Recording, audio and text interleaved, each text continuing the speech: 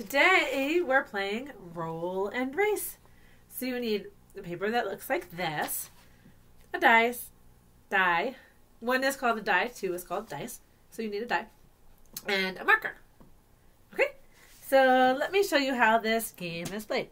So the first thing you need to do is roll your die.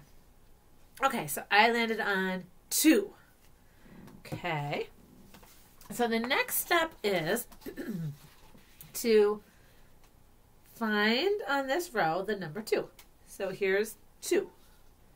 Okay.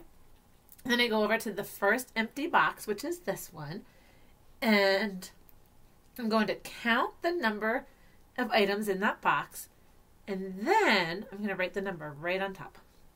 So let's see one, two, three, four, five, six. There are six little bugs in that box. So then I'm going to write the number six right on top, just like that. Okay. Then you do it again.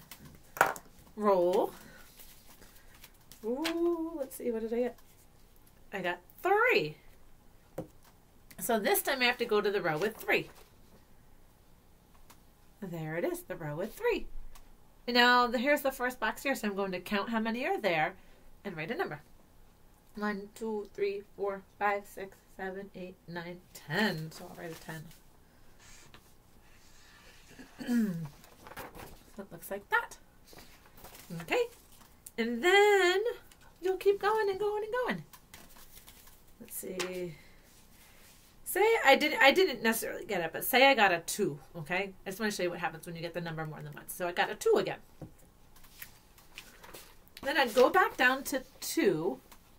Here's two. And I'm going to go across to the first empty box, which, well, this one I already did, so I have to go to this box this time. Count and write the number. One dog there. And write the number. Okay.